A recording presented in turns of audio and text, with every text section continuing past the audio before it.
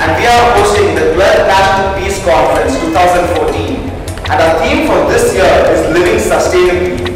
Living sustainably is basically using what you have efficiently so that there is no wastage and it will last us longer.